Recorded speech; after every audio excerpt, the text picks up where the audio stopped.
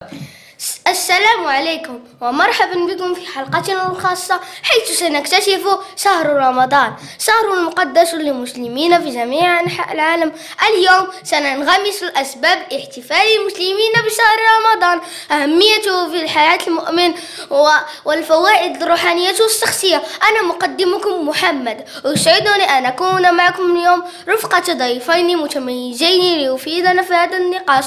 لنبدأ بتعريف ضيوفنا. معنا فاطمة معلمة وعالمة وعالمة الدين متخصصة بالإسلام.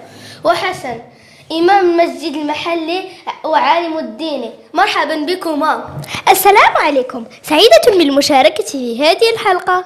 مرحبا. شكرا لكم على منحنا هذه الفرصة لمشاركة المعرفة حول شهر رمضان. شكرا لكم على حضوركم اليوم. لنبدأ بفهم السبب الاحتفال المسلمين بشهر رمضان. فاطمة هل يمكنك شرح معنى وأصول هذا الشهر المقدس؟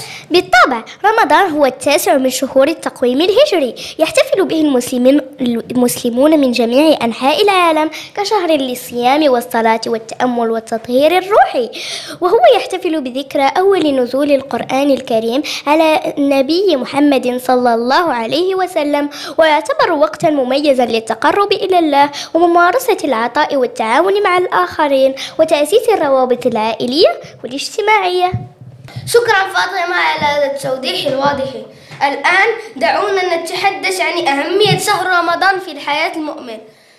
في الحياة المؤمن حسن هل يمكنك أن توضح لنا أهمية هذا الشهر المقدس للمسلمين؟ يحمل رمضان أهمية كبيرة روحية واجتماعية للمسلمين. إنه وقت لتطهير الجسد والروح وتعزيز الانضباط الشخصي والتقوى كما أنه فترة يشعر فيها المسلمون بأنهم أقرب إلى مجتمعهم وخالقهم. من خلال الصلاة قراءة القرآن وممارسة الأعمال الصالحة. شكرا حسن على هذه على هذه الرؤية المثيرة للإهتمام. وأخيرا دعونا نستكشف الفوائد شهر رمضان على الأفراد فاطمة ما هي النعم والفوائد الشخصية التي يمكن أن نستفيد من صيام هذا الشهر المقدس؟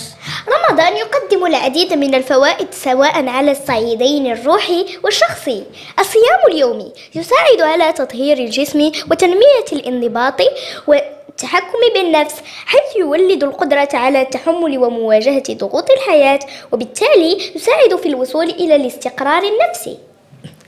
شكرا.